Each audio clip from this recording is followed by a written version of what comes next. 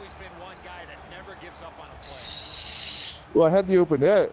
What the hell? Fuck, what the hell?